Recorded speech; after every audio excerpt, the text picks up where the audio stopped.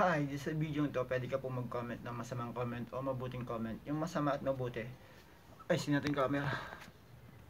Pabor po yun sa may-aring channel.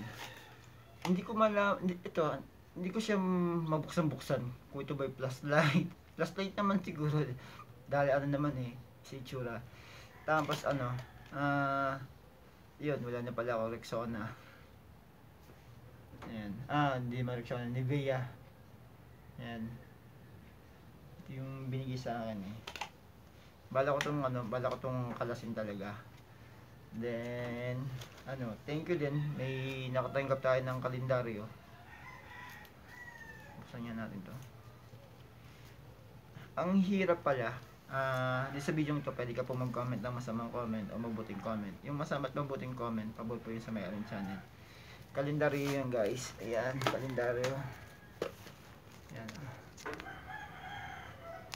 Ang problema, nung isang araw, nagkaroon dito ng ano, na issue. Kasi nga, nanay ko kasi mahilig mangutang sa mga, ano, sa mga microfinance. Tapos, uh, ang ganda daw ng microfinance. Tag, dumating ngayon, uh, matatapos na sila. Uh, para may isang hulog silang, napasobrang hulog ng isang beses lang. Tapos yun, uh, napakahalaga talaga na mag-notes ka magre-record ka, may luma kang kalendaryo, kailan ka nag-umpisa ng utang, kailan kayo nagsimula mag, uh, magbigay ng inyong contribution. Kapag wala nun, magdidiman yan, siguro magsasabi nga yung nagpautang sa inyo, ay, hindi pa po kayo kompleto. Kasi ako naranasan ko umutang sa microfinance, ang sakit ng ulo ko. Akala kasi yun yung makakatulong sa akin para sa aking hanap buhay. Pero dumating sa punto na para bang sa una, ang ganda ng mga sinasabi nila, sa bandang huli, mas nakunan ka pa. Akala mo ikaw ang natulungan, pero ang totoo, ikaw yung mas nagipit. Yun. And nadala na talaga ako. Kasi nga, kailangan pag uutang ka talaga, iintindihin mong mabuti. Kung ilang days, uh, ilang weeks kayo magbabayad, ilang months, magkano ang kinita niya, yung bagang magkano kasi pag pinautang ka ng 5,000, hindi mo 5,000 makukuha ng buo yun eh. Doon pa lang may cut na sila. Tapos may mga insurance sila, magaganda. Pero pagdating ng araw, kahit nga ako naranasan ko na, ah, eh, bayad na ako, kompleto na ako. Tapos sa recording nila, may kulang ka pala. Tapos hindi updated yung passbook. Tapos ano, ah, uh, siyempre pag nangutang ka talaga, obligado ka talaga. Sobra na yung naibigay mo, tapos magdadit magdagi. Kaya ako nadala, nagkaroon na ako ng isang experience, ayoko na.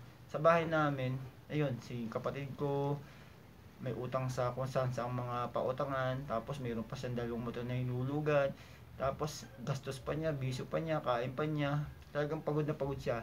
Ang dami niyang utang. Sabi ko, ang tindi mo boy sa sarili ko. Uh, pero kahit pa paano, nagtutulungan yung nanay ko at saka siya, bunsong kapatid ko na talagang ano talagang maayos din si si ano si yung utol ko kasi nga ano naman siya, hindi siya nawawalan trabaho, maganda yung pinagkakakitaan niya dun sa pamilyang bayan. Talagang ano, kung sa akin yun, medyo, ano na ako, tulala na ako, dami ko utang. Hindi lang siya marunong humawak ng pera, tsaka siguro yung ano din niya, yung personality din niya, yung yung bisyo din niya nagpabaksak sa kanya, tsaka hindi siya talaga marunong sa ano, mga utang-utang. Ako may utang din ako, uh, hindi ko sinasabing maganda yung maayos ako, pero ano eh, um, bayad-bayad lang talaga. Ang hirap na meron kang utang. Mas maganda yung wala ka kasi stress talaga yan. So yun lang end for the very stories lang and ano, fast forward, uh, bubuksan ko to. And thank you dun sa ano, naubusan na ako ng Rexona. Ah, ng ano, ng Nivea. Yan, lagi ako Rexona. Parang, bibili ka po, pabili nga po ng Colgate. Ano yung, anong Colgate? Close up po. so yun lang, maraming salamat. Mali na naman yung ano. Pwede ka po mag-comment ng masama o mabuting comment o yung masama at mabuti. Pares lang po yun, pabor po yun sa may channel. Paalam!